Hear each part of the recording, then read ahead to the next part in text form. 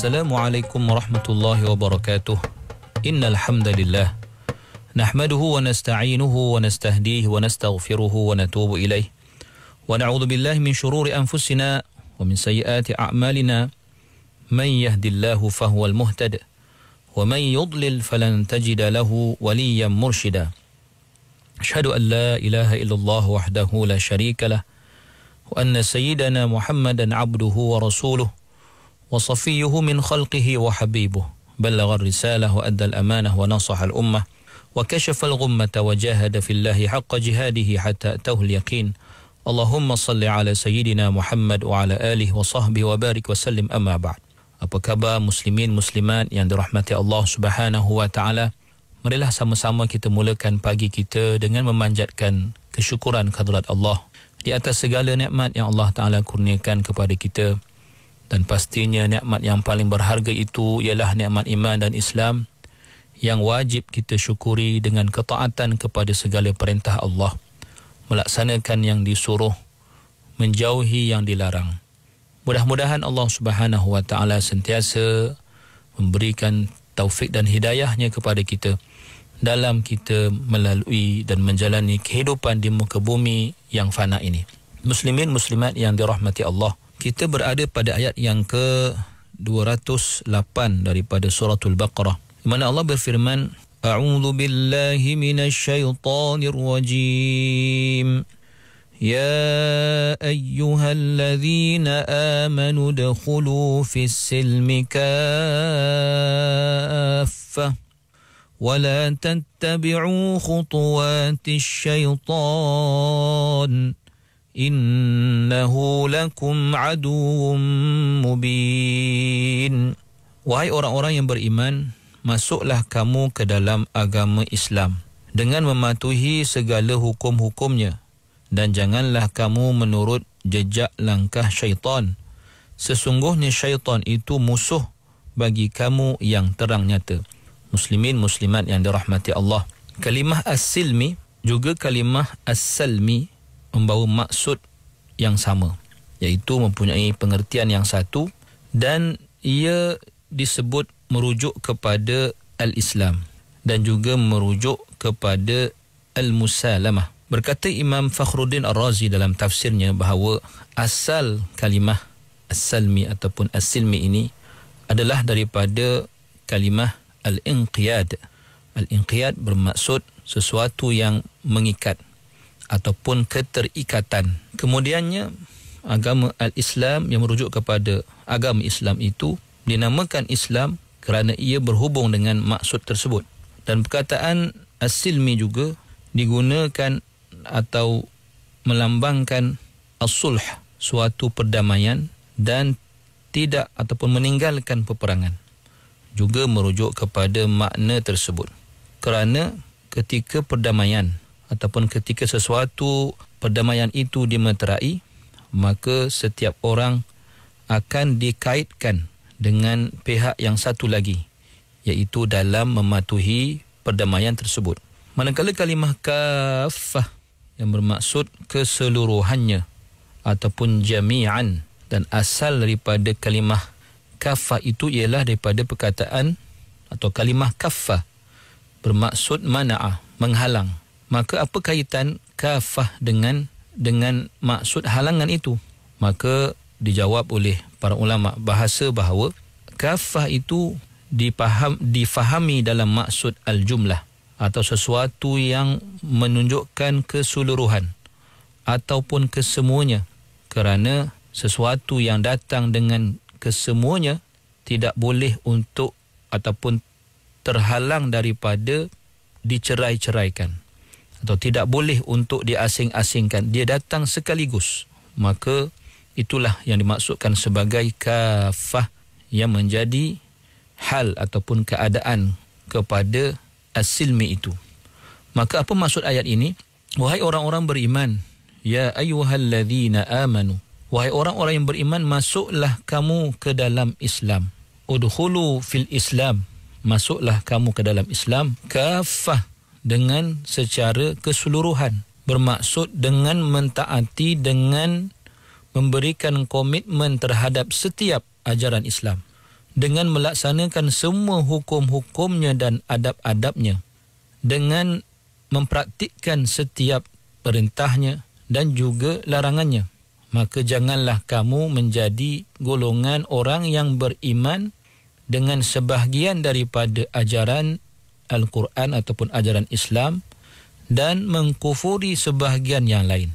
Maka maksud kafah di situ ialah mematuhi segalanya, kesemuanya syariat-syariat yang ada di dalam agama yang suci ini. Muslimin muslimat yang dirahmati Allah Subhanahu wa taala. Terdapat juga sebahagian daripada kalangan ulama yang yang mengatakan bahawa kafah ini adalah hal yang menerangkan tentang ya tentang orang yang melakukan ataupun pelaku dalam ayat ini iaitu orang-orang beriman. Bermaksud masuklah kamu ke dalam agama Allah atau ke dalam Islam ini ke semua sekali. Maksudnya ke semua sekali merujuk kepada kamu atau merujuk kepada orang Islam itu. Membawa erti kamu semua orang orang-orang yang beriman, kamu semua keseluruhan kamu jangan ada yang terpisah. Masuklah ke dalam agama Allah Subhanahu wa taala secara bersatu, padu, tidak berpecah belah.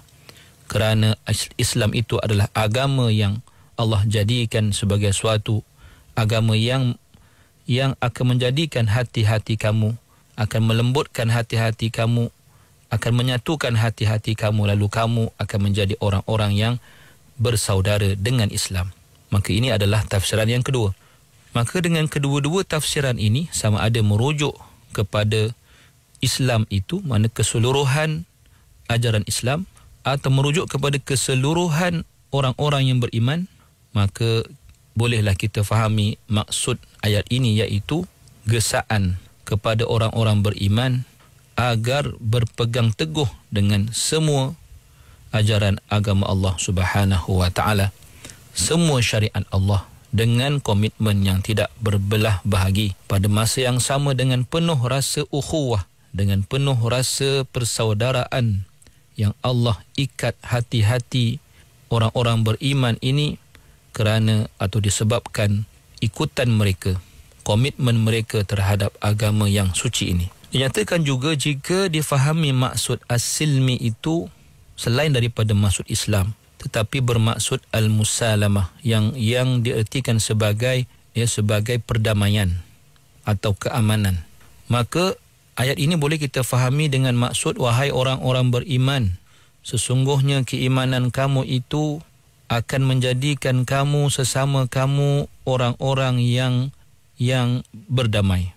Orang-orang yang bertimbang rasa, tidak bermusuhan, orang-orang yang berkasih sayang, tidak bergaduh, orang-orang yang bersatu padu, tidak berpecah belah.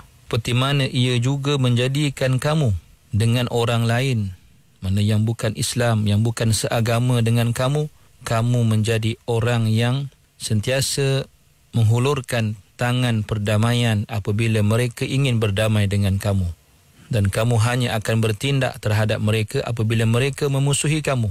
Kerana sesungguhnya Islam itu adalah agama yang datang bukan untuk berperang, bukan untuk bermusuh, tetapi datang untuk memberi petunjuk, untuk mendatangkan kebaikan dan keamanan sejagat kepada semua manusia. Muslimin muslimat yang dirahmati Allah Subhanahu wa taala.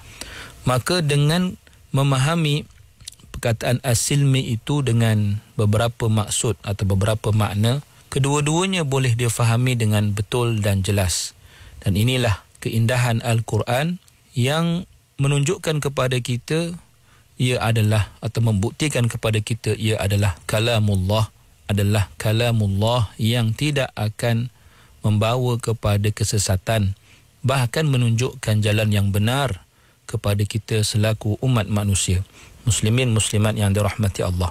Terdapat beberapa riwayat dalam kalangan ahli tafsir yang yang mereka bawakan mengatakan bahawa ayat ini ditujukan kepada orang-orang beriman dalam kalangan ahli kitab. Antaranya riwayat daripada Ibn Abbas bahawa beliau berkata ayat ini turun berkenaan atau ditujukan kepada Abdullah bin Salam dan rakan-rakannya atau yang seumpama dengannya kerana Abdullah bin Salam merupakan seorang Yahudi pendeta Yahudi yang memeluk Islam pada zaman Rasulullah sallallahu alaihi wasallam. Apa yang berlaku ialah apabila mereka beriman dengan Nabi Muhammad sallallahu alaihi wasallam dan mereka beriman dengan syariat baginda dan juga syariat Nabi Musa alaihi salam. Mereka telah uh, memuliakan hari Sabtu seperti orang Yahudi. Dan mereka tidak suka makan daging uh, unta dan juga susunya setelah mereka walaupun setelah mereka masuk Islam. Maka ini di ditolak ataupun uh, tidak dipandang baik oleh orang-orang Islam yang lain maka perkara ini sampai pada Nabi sallallahu alaihi wasallam dan mereka katakan bahawa Taurat juga kitab Allah. Maka biarlah kami beramal dengan Taurat lalu Allah turunkan ayat ini. Ini disebut di dalam tafsir Al-Alusi. Setengahnya mengatakan bahawa ayat ini ditujukan kepada orang-orang yang munafik. Dan takdirnya ataupun cara kita memaham ayat ini ialah wahai orang-orang yang beriman dengan lidah-lidah mereka iaitu merujuk kepada orang munafik udkhulu fi silmi kafah. Masuklah kamu dengan keseluruhan. Bermaksud masuklah kamu ke dalam Islam dengan keseluruhan dan jangan kamu ikut jejak langkah syaitan. Walau bagaimanapun kedua-dua pandangan ini adalah pandangan-pandangan yang lemah dan tidak ada sandaran yang kuat untuk di, untuk uh, dijadikan pegangan. Muslimin muslimat yang dirahmati Allah. Seterusnya Allah berfirman wala tattabi'u khutuwati syaitan dan janganlah kamu mengikut jejak langkah syaitan.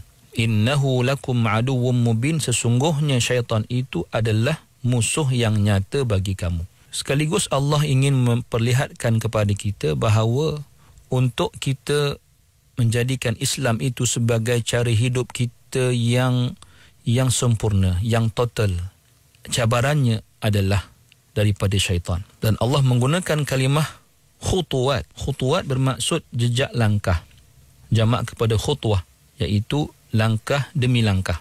Dan bila Allah Taala sebut wala tattabi'u khutuwati syaitan, ia membawa maksud atau memberikan suatu gambaran bahawa syaitan itu sangat banyak cara dan kaedahnya untuk menyesatkan manusia dengan selangkah demi selangkah peringkat demi peringkat sehingga manusia itu terjerumus dan sehingga manusia itu terus mengikut jejak langkahnya tanpa ada rasa bersalah atau tanpa teragak-agak kerana telah pun dikuasai oleh syaitan dan akhirnya lupa kepada Allah Subhanahu wa taala.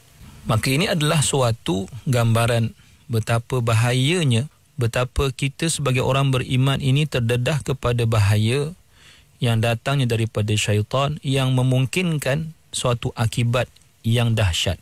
Iaitu akibatnya kita akan jauh daripada agama Allah Subhanahu wa taala. Atau kita akan lari daripada syariat Allah Subhanahu wa taala.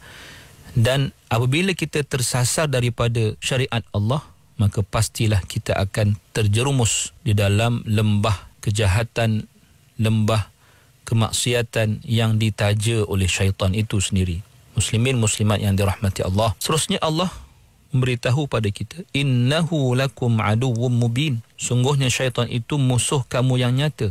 Sebagai memperjelaskan sebab atau faktor mengapa syaitan itu sanggup melakukan demikian. Kerana permusuhan yang telah lama. Permusuhan yang telah timbul sejak daripada kejadian Nabi Adam alaihissalam maka antara cara antara kaedah yang digunakan oleh syaitan ialah menjauhkan manusia daripada agama Allah Subhanahu wa taala. Dan kita sebagai umat Islam digesa oleh Allah untuk mengisytiharkan permusuhan dengan syaitan. Seperti dalam surah Fatir ayat yang ke-6 Allah berfirman, "Inna syaitana lakum aduwwun fattakhidhuhu aduwwa." Innama yad'u hizbahu liyakunu min ashabis sa'ir sesungguhnya syaitan adalah musuh bagi kamu. Maka jadikanlah dia musuh yang mesti dijauhi tipu dayanya. Sebenarnya dia hanyalah mengajak golongannya supaya menjadi dari penduduk neraka. Muslimin muslimat yang dirahmati Allah sama-samalah kita berjuang dan berusaha bersungguh-sungguh untuk menjadikan Islam cara hidup kita yang paling baik, yang paling cantik, yang paling indah. Pada masa yang sama, kita menjauhi segala yang dibawa dan diajak oleh syaitan alaihimul la'na. Semoga Allah Ta'ala selamatkan kita daripada kejahatan syaitan. أقول قولي هذا wa الله العظيم لي Wassalamualaikum warahmatullahi wabarakatuh.